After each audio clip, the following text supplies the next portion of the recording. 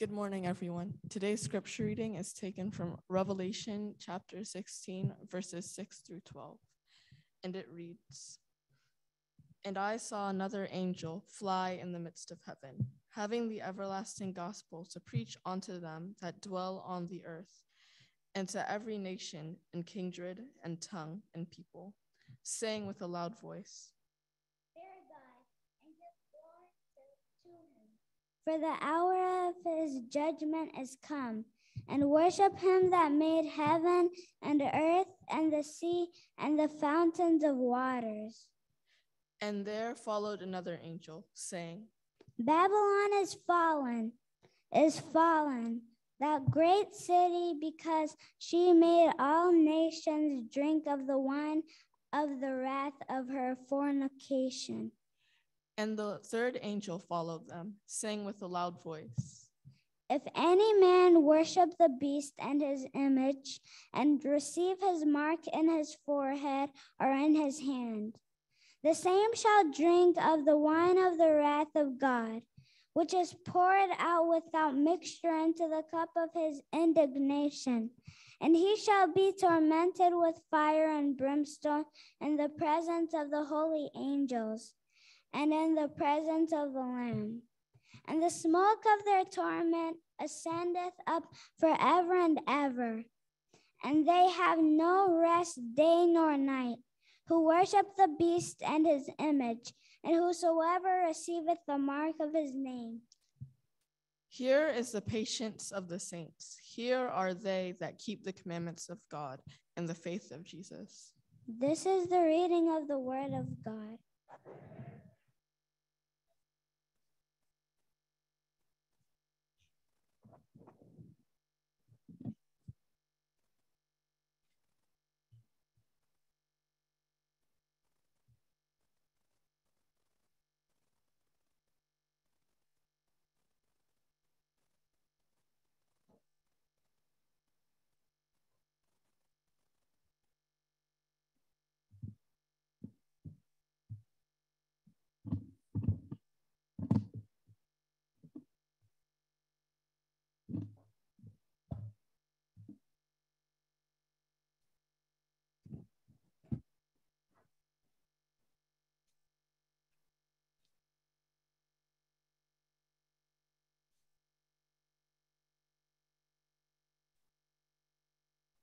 Amen.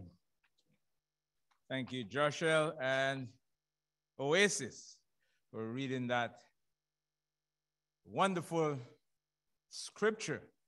And that's one of the cornerstone scriptures of our church, the three angels message. Thank you. Excellent. Uh, today, uh, we have the privilege of having Pastor Ian Sweeney who will bring us the word of God. Just a little bio, uh, brief bio of his ministry. Following his ministerial studies at Newbold College in England and accepting the call to the ministry, Pastor Sweeney entered pastoral work in 1989 at the Manchester South Seventh day Adventist Church in Manchester, England.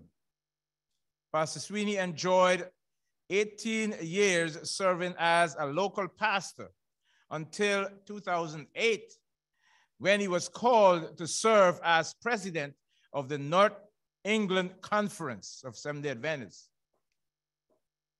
Three years later, he was asked to serve as president of the British Union Conference. After 11 years of service in that role, and three weeks after being reelected to serve a third term, he was asked to serve as field secretary of the General Conference, the Trans European Division. You remember him preaching last year, right here at Mitchellville in the Zoom, of course. And at that time, he was president of the British Union Conference. Now he is secretary uh, one of the secretaries in the Trans-European Division of the General Conference. You know, with the rate at which he is being promoted, I think uh, very soon, within the next five years, we might say Welcome to the neighborhood, Pastor Sweeney. You know, he, um, there he's already at the general conference in Europe. They may moving down to Silver Springs, right in our neighborhood. Pastor Sweeney, we're looking forward to see you and your wife in the next few years, right here in Maryland. I must add that um, Pastor Sweeney uh, was our pastor, my, myself, Camille International, while I was studying in England there at the University of Manchester between 1989 and 1991. Uh, when I started studying, that's the year he started his ministry as a pastor. Pastor Sweeney enjoys uh, speaking on various topics and issues, and his passion and love uh, for preaching, evangelism, and being a church pastor has resulted in invitations to speak at evangelistic meetings and events extensively throughout the British Isle and across the globe. Pastor Sweeney and his wife, Jennifer, will celebrate 35 years of marriage in August. Congratulations, Pastor Sweeney, for that wonderful milestone. 35 years is a long time, longer than many of our, uh, us were, are alive. Amen. Uh, they have three adult children Jonathan, Joshua, and Joanna. His hobbies are caring for his two freshwater tropical aquariums, also walking and cycling. You may recall, as I said, Pastor Sweeney preached here last year on the Zoom, uh, he preached on stewardship, and the topic was it's all about the money. Today, his focus is on religious liberty. And the topic, well, it's in the bulletin. I'll, I'll let him introduce that topic to you when he speaks. Pastor Sweeney, I welcome you to Mitchellville Seventh day Adventist Church, though virtually. Pastor Sweeney uh, texted me this morning and said he was a little under the weather, and you know I think you ought to Springer, Springer pray about for him there. Uh, we can we will continue to pray for you and your family uh, that the Lord will uh, keep you healthy and grant you healing as He wishes all of us. Let's pray for Pastor Sweeney as he brings the word. After the music of meditation you'll hear from Pastor Ian Sweeney, Field Secretary of the General Conference, Trans European Division. Hear ye him.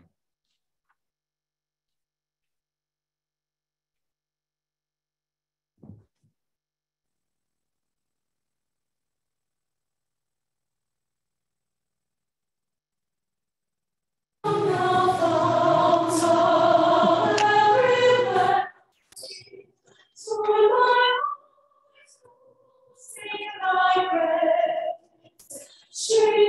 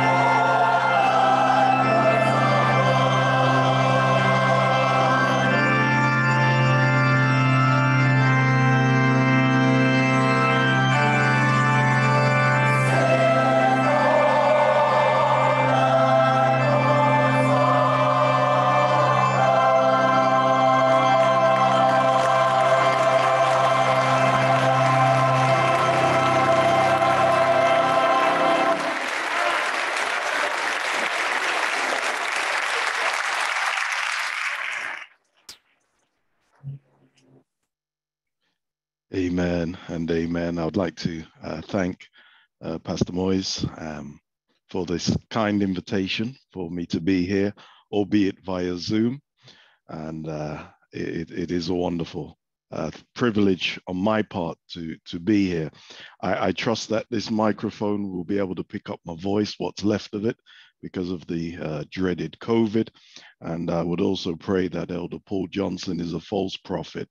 Um, I love visiting America, but as I jokingly say, um, you are, in Adventist understanding of Scripture, the lamb like beast. And um, Britain, to my knowledge, isn't in Scripture in that same way. Um, we're part of the toes and all of that, but I, will leave you all to the lamb like beast, if that's all right. Today, I just want to try and uh, deal with a subject which I've entitled Chant Down Babylon. Chant Down Babylon. And I pray that, that you are blessed and indeed challenged uh, through the message that, that the Lord has just laid upon my heart for this time. You know, persecution on grounds of religious faith is a global phenomena that is growing in scale and intensity. Reports, including that of the United Nations Special Rapporteur on Freedom of Religion and Belief, suggest that religious persecution is on the rise and it is an ever growing threat to societies around the world. Though it is impossible to know the exact numbers of people persecuted for their faith, based on reports from different NGOs, it is estimated that one third of the world's population, one third of the world's population suffers from religious persecution in some form, with Christians being the most persecuted group. Everyone has the right to freedom of thought, conscience, and religion. This right includes freedom to change one's religion or belief and freedom to manifest his religion or belief in teaching, practice, worship, and observance the two young ladies who read Revelation 14, 6 through 12 so beautifully. You know, that passage of scripture, as Elder Paul has said, you know, is related to religious liberty because it is a call to all humanity to make free will choices, a free will choice to choose Christ, a free will choice to choose the enemy, a free will choice, Revelation 18:4 a little later, to leave Babylon. The Seventh day Adventist Church strongly believes in religious freedom for all people. A person's conscience, not the government, should dictate his or her choice to worship or not to worship.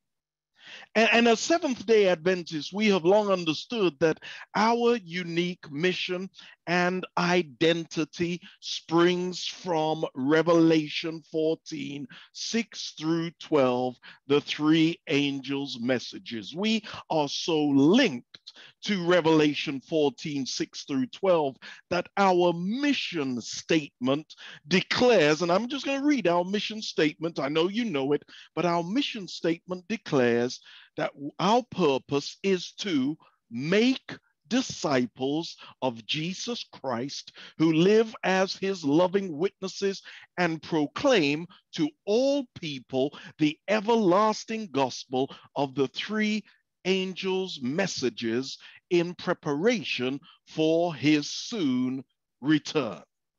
That's our mission statement to proclaim the everlasting gospel of the three angels' messages. But in many parts of the world, Adventism is struggling.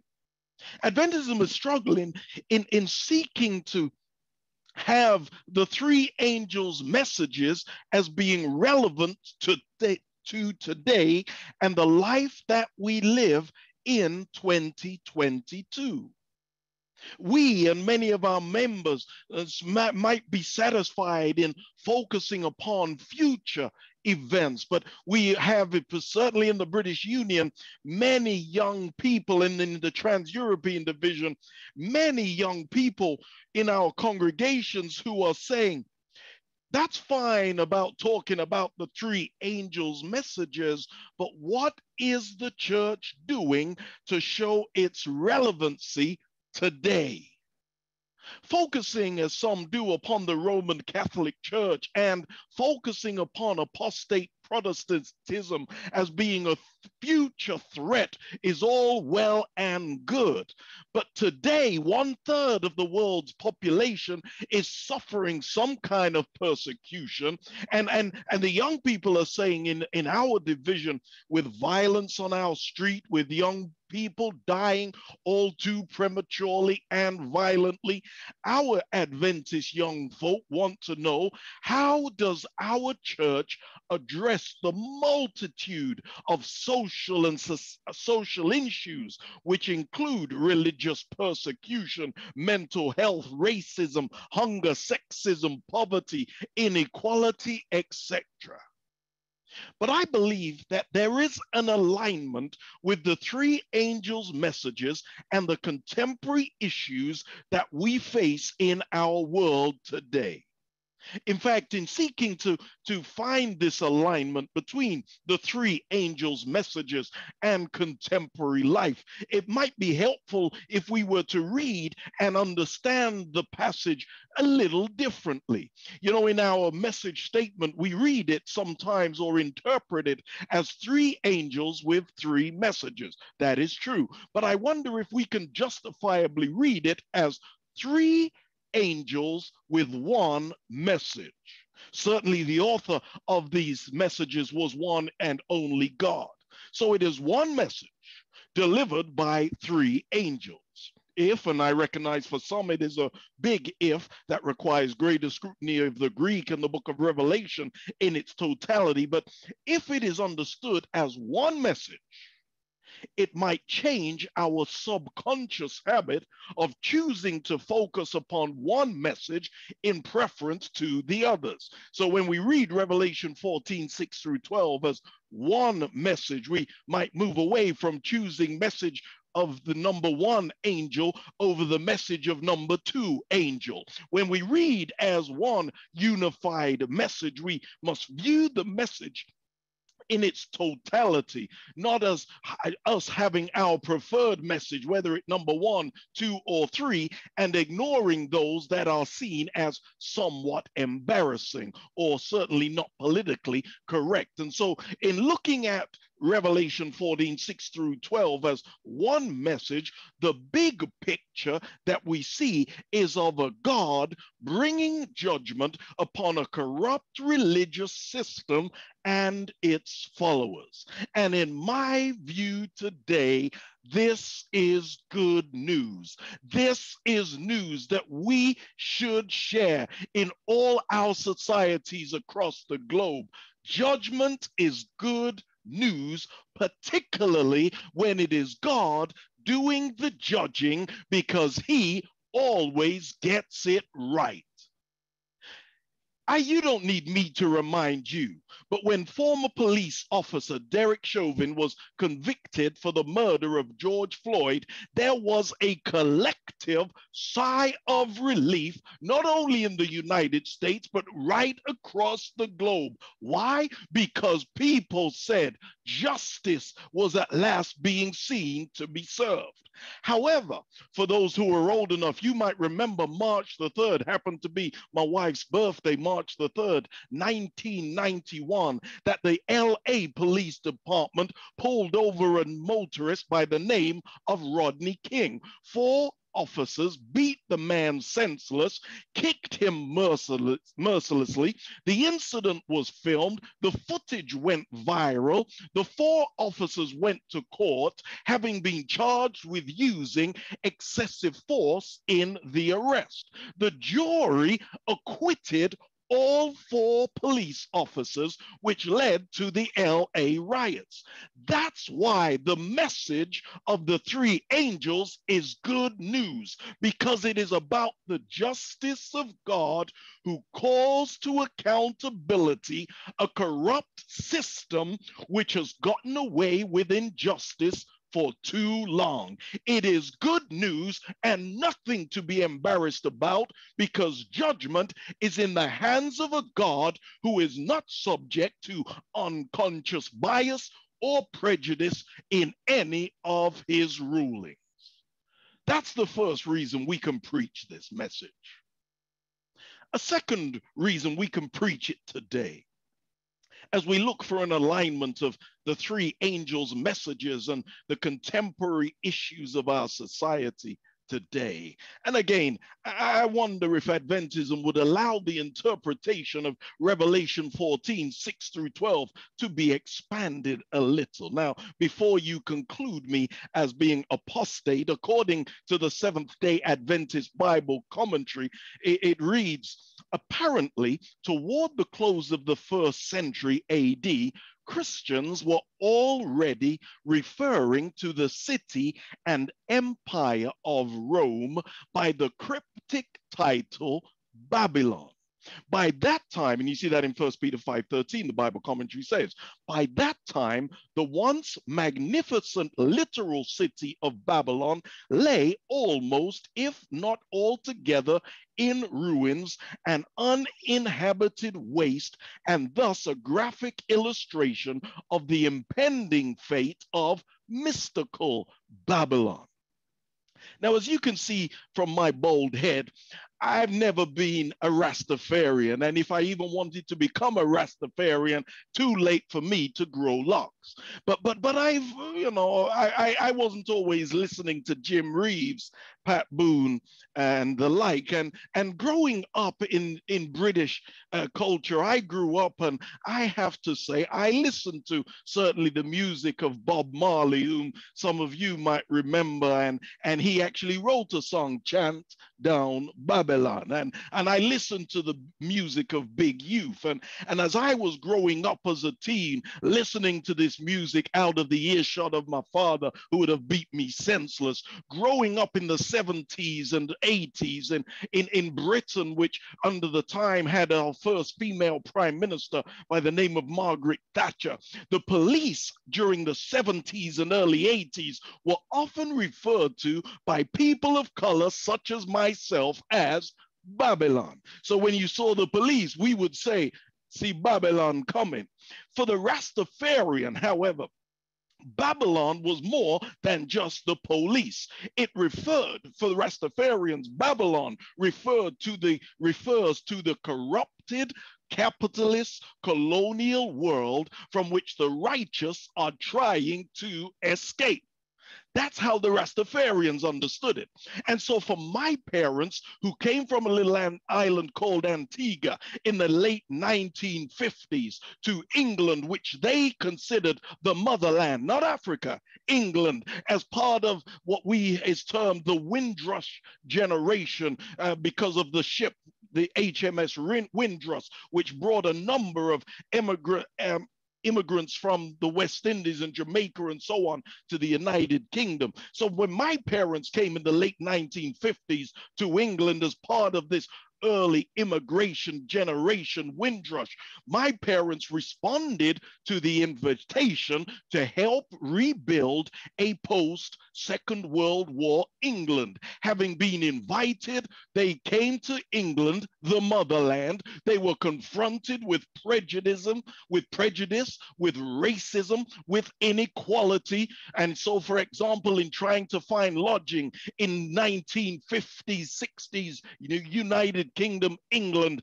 they were greeted with signs which were just out there no blacks, no Irish, no dogs. My father, being both black and having an Irish father, was excluded on two. The dogs were still back home in Antigua. We folk of this generation were confronted with prejudice, racism, and inequality. And then when they had their children, first generation children in the UK, such as myself, we then became the scapegoats for much that has gone wrong in British society. So I say this to make a point. Even as first century Christians would call Rome, the city of Rome, Babylon, could we be permitted to expand with a secondary contemporary interpretation of Babylon being those places and systems which display similar characteristics of a long gone ancient power known as Babylon? Indulge me in my speculation for a moment longer. You know the story of the three, should I say, four Hebrew boys. And in Daniel chapter 1, verse 6 and 7, because of course Daniel and Revelation have a symmetry, we read, let me drink this water. In Daniel 1, 6 and 7, we read, Among those chosen were Daniel, Hananiah, Mishael, and Azariah, all of whom were from the tribe of Judah. The chief official gave them new names Belteshazzar, Shadrach, Meshach, and Abednego. Now, you know, we know, and many preachers have acknowledged, what the Babylonians were seeking to do in changing the Hebrews' names. But this ancient story still has a very contemporary relevance. Some of you, when you aren't just watching Hope Channel and 3ABN, some of you may know of an actress by the name of Thandie Newton. And she has been known, she's a British actress, and she's been known by this anglicized version of her name for many decades. Now, however, she has reverted back to the original spelling of her name, saying, to quote her, that she is taking back what is mine. You see, after the W was missed from the credit of her first role, acting role, Newton's mother is from Zimbabwe and her Shona name means beloved. Thandie, or is no longer credited as Thandie Newton, but Thandiwe Newton. She's claimed back her African name.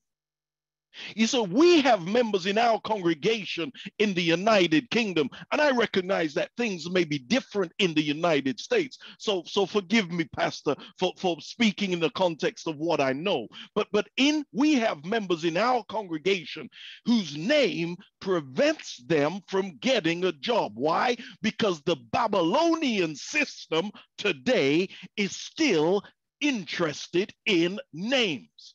So research was carried out by academics based at Oxford University, and it revealed that British citizens from ethnic minority backgrounds have to send, on average, 60% more job applications to get a positive response from employers compared to their white counterparts with more anglicized names.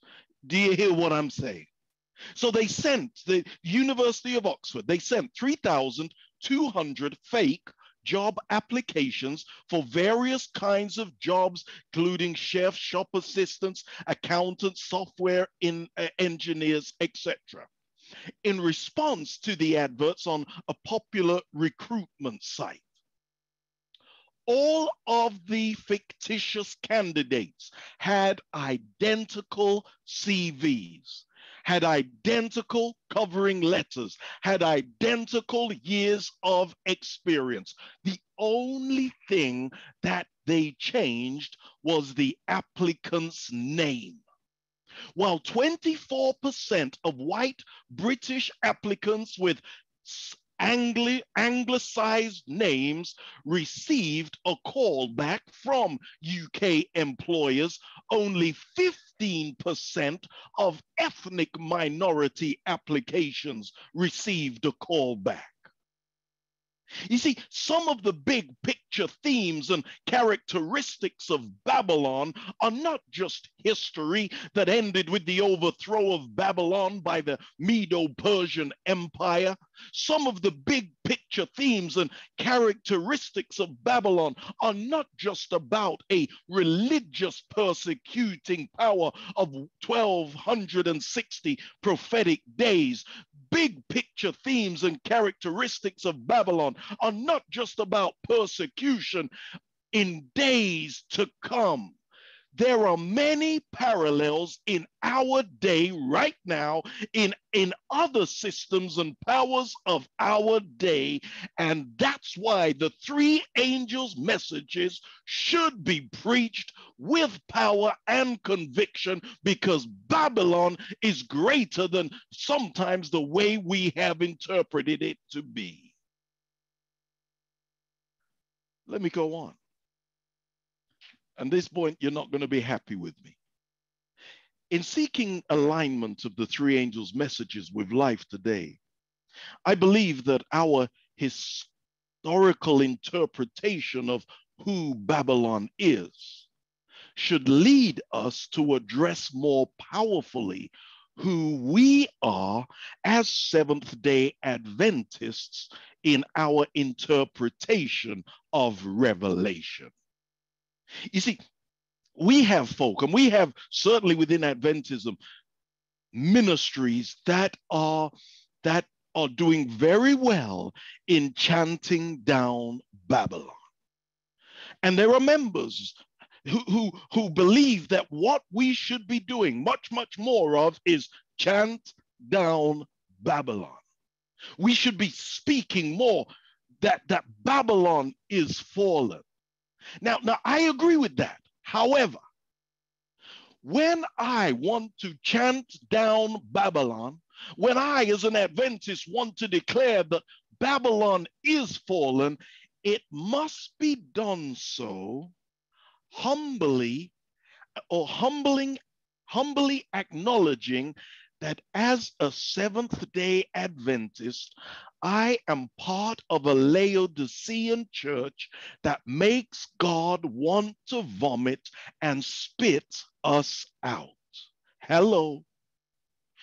I want to chant down Babylon. Babylon is fallen. That's fine. But I've got to acknowledge as an Adventist that I'm part of a Laodicean church that makes God want to throw up. That's what Revelation 3:16. So, so when I chant down Babylon and say Babylon fallen, I've also got to recognize who I'm a part of. You see, in seeking alignment of the three angels' messages for issues of today, I believe that, that our Adventist historical interpretation of who Babylon represents should not only lead us to confront the uncomfortable history of Roman Catholicism, it should also lead us to confront our own uncomfortable Adventist history. And sadly, at times, we, this church, which I love and I'm so proud and honored to be a part of, but sadly, at times, we have not the Seventh day Adventist church. We're chanting down Babylon. We're telling, come out of Babylon, my people. But sadly, at times, we have not come out of the practices and the ideology of fallen Babylon. Don't believe me? One such occasion was demonstrated in 1994. After years of hostilities and hate speech, Rwanda's Hutu majority people set out to annihilate the Tutsi minority. According to figures from several organizations, in just 100 days, about 800,000 people were killed and millions were displaced. Rwanda at the time and to, still today is among one of the most Christian countries in Africa. And in 1990 and in the 1994 genocide, church buildings became one of the primary killing grounds. And Rwanda's churches and leaders consistently allied themselves with the state, Babylon, and played ethnic Babylon politics. You know, as the violence escalated, an Adventist mission president, an Adventist president of one of our missions, our conferences, who was a Hutu, urged his Tutsi members, as well as others, to take shelter in the Mugonero Adventist compound to which around 3,000 people sought sanctuary. April the 15th, 1994, heavily armed Hutu bands and members of the Presidential Guard circled the Adventist compound in pickup trucks. A group of seven Tutsi Seventh day Adventist pastors who were in the church compound they signed, wrote, and signed a desperate letter to the president, who was seen with the militia men as they circled the Adventist compound. They wrote a letter appealing for the president to intervene. The next day, which was Sabbath, the answer came at approximately nine o'clock, which was early for Sabbath school, when the militiamen entered the Adventist compound with guns and machetes and methodically and systematically killed everyone taking shelter in the Adventist church, school, and hospital. The Adventist compound, this Adventist compound, was the site of possibly the worst single massacre in the entire 1994 genocide. In a single day, almost all of the 3,000 Tutsis who had gathered at the Adventist mission were slain, some 2,000 inside the Adventist church building itself. The president, along with his son, a medical doctor, were later charged and imprisoned on war crimes. Now, I share this not to bash Africa or Rwanda or Hutu Adventism or, or anything like that, but I share this to help us to see that coming out of Babylon is to reject all the demonic ideologies and thought patterns of Babylon. I, share this to humbly plead that we as a people of God would live different from Babylon, that we would align ourselves to God and not to the thought patterns and practices of Babylon. You see, the message of the three angels is a rejection of enforcement of religious and ideological beliefs. It is a rejection of the use of violence to reach any end. The message of Revelation 14, 6 through 12 is not only about what is happening in the Vatican, what is happening in America, what is happening in Europe. Revelation 14, 6 through 12 also addresses what is happening in our local communities and challenges us to speak, to cry loudly, and lift up the causes and the principles of Jesus Christ.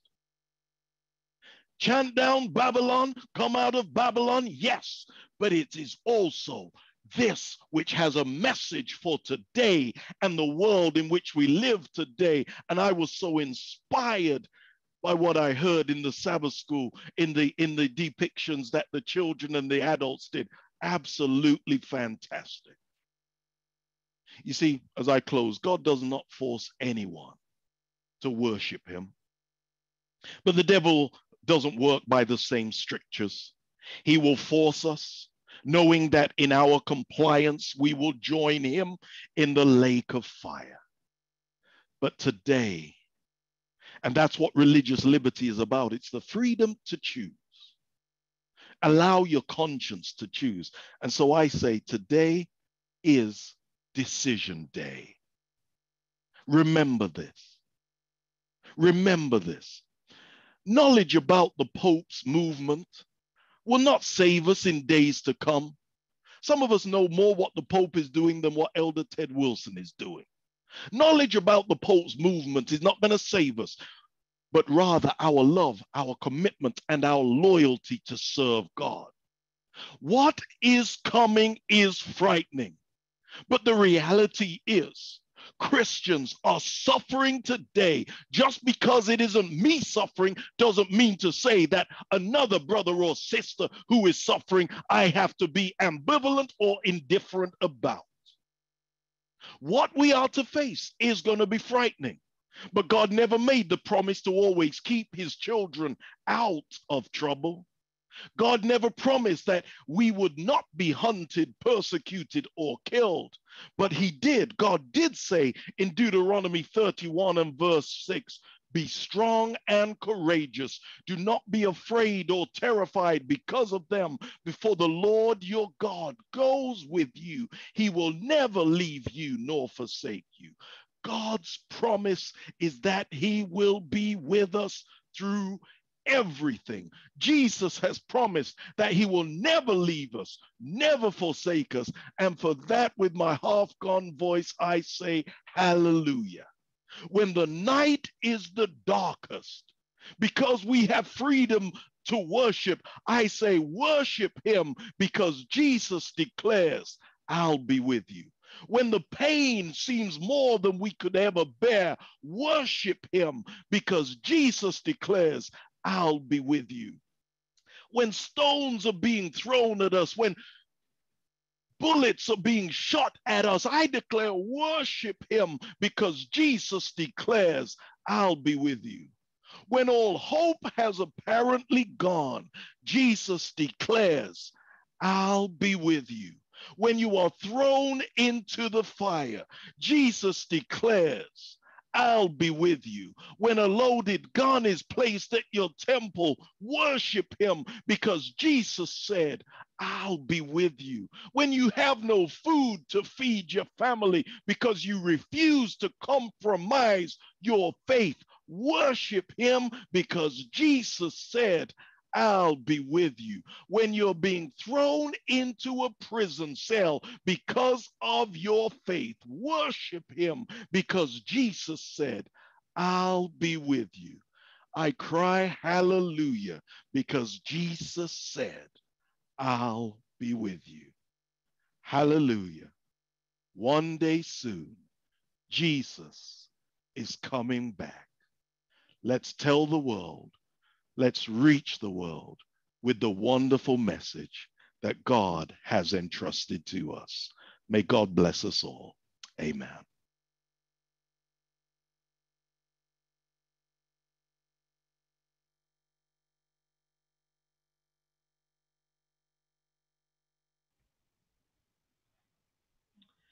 Amen. Thank you, Pastor Sweeney.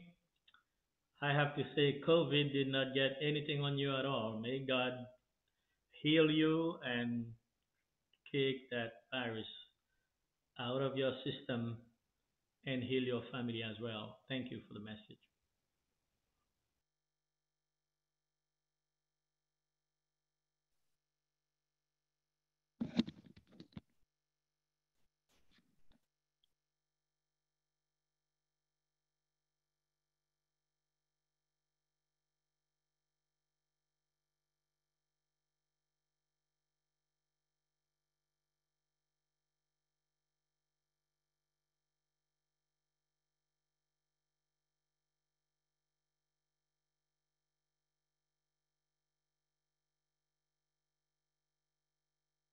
Pastor Sweeney.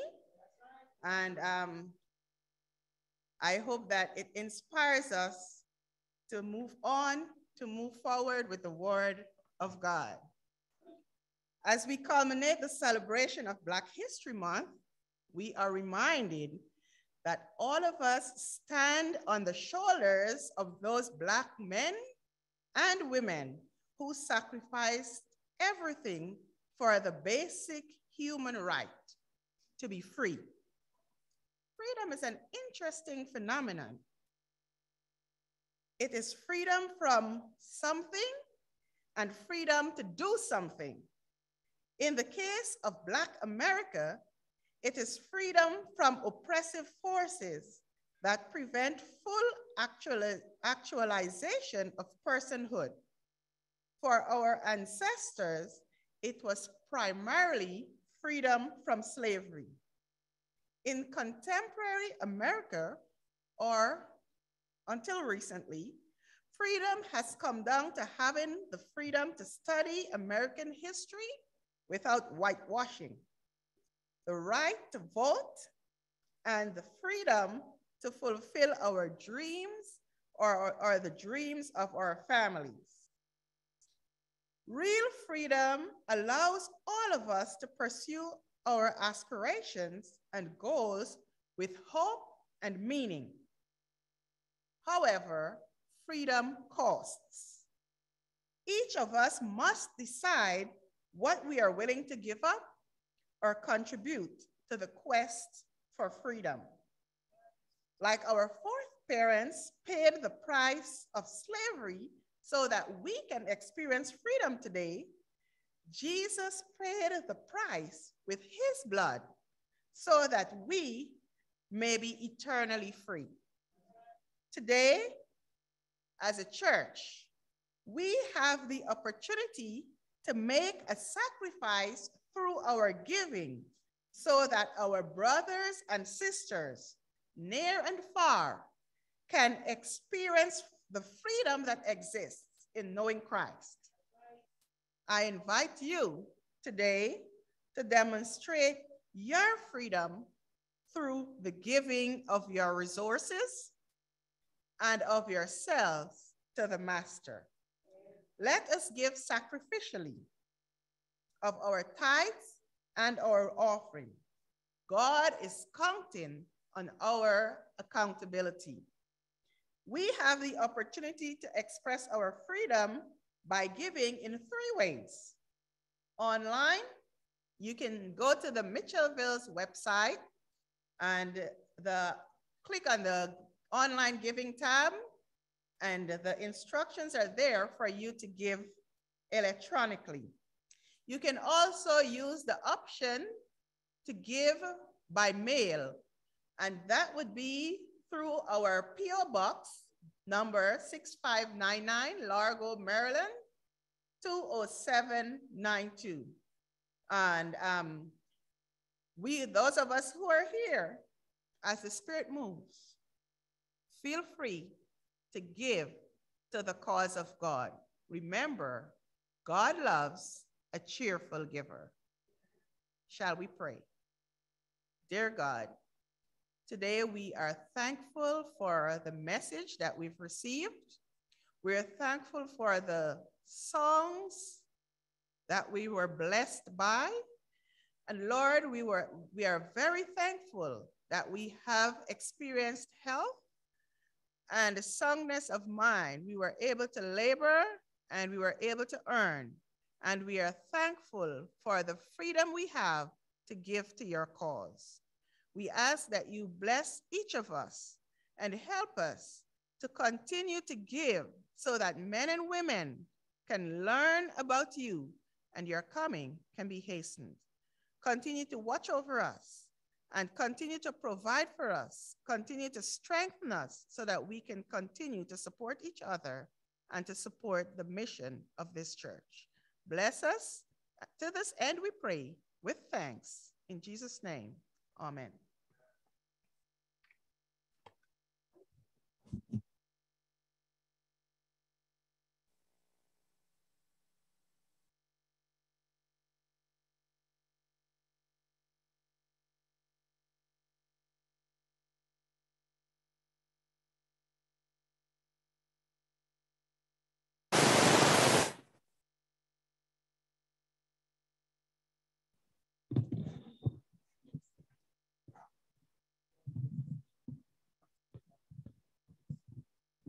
At this time, we will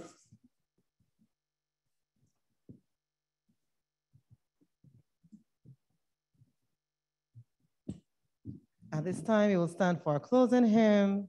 The Lord is coming, hymn 200 in our hymn books. The Lord is coming, let this be the herald note of Jubilee. The Lord is coming, let this be the herald note of Jubilee. And when we meet and when we part, the salutation from the heart. The Lord is coming, let this be the herald note of Jubilee. The herald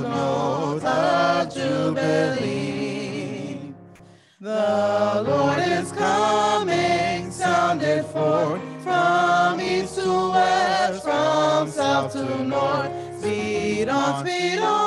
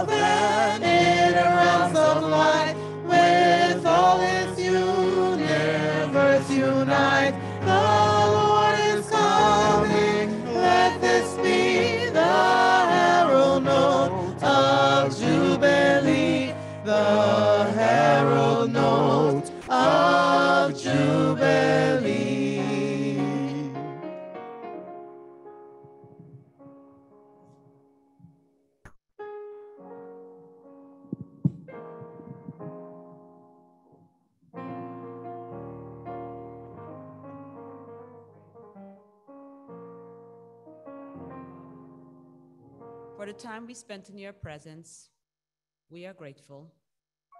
We're thankful for the music, for the various ways we, we praise you today.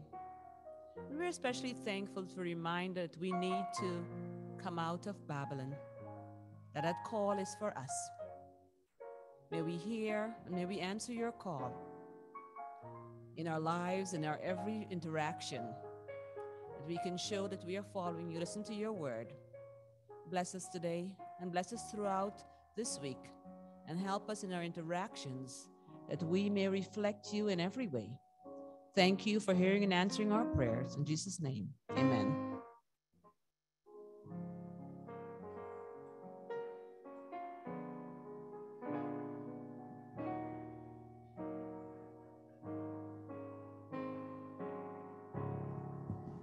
Please be seated.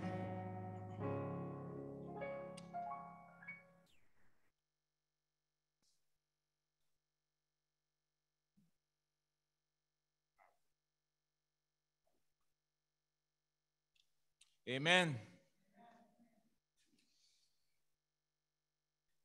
I'd just like to make a few remarks of thank you at this time. I'd like to thank all the participants uh, in today's service for making this service such a wonderful service. Uh, I would also like to thank uh, our young people who did such a beautiful job, um, our pathfinders and our young people in the Sabbath school program. Wonderful, really fresh and exciting and exhilarating. I'll also, uh, finally, I'd like to thank Pastor Ian Sweeney uh, for his wonderful message. And I'd also like to thank his wife, Jennifer, uh, for, uh, for allowing him to be preaching so many times. You know, he sometimes preach in the morning and then preach in the evening. Right now it's in the evening in England. Uh, thank you, Pastor Sweeney, for such a wonderful message. Chant down Babylon. You know, I remember that song when I was growing up as a teenager. Bob Marley. Let me chant down Babylon one more time for themselves. Yes, but the message, the way you presented and interpreted the message of revelation for today, so new and fresh, the way we should look at Babylon. It is not just the Roman Catholic system, it is even a wider system that the enemy is using against God's people. God bless you, Pastor Sweeney. And thank you very much. May the Lord continue to bless your ministry. And I know He will get, grant you full healing, and you and your family members from this COVID uh, infection. God bless. And thank you all here in the congregation and all on Zoom for being a part of this service. God bless us all. Amen.